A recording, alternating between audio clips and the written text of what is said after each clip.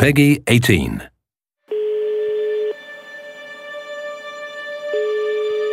Hello. Hello, Victor. What happened, Max? I don't know. I was tricked.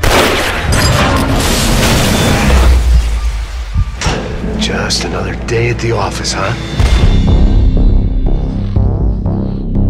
Wake up, Max. The boss wants to see us.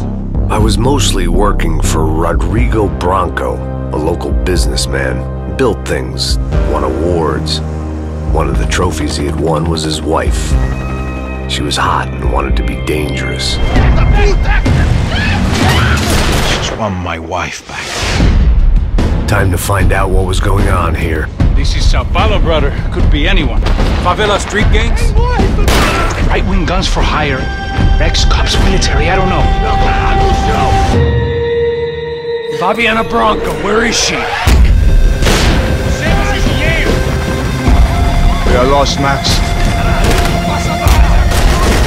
Our family is being torn apart. God damn it! It was time to bring this little hellhole to the ground. We're in the jungle now.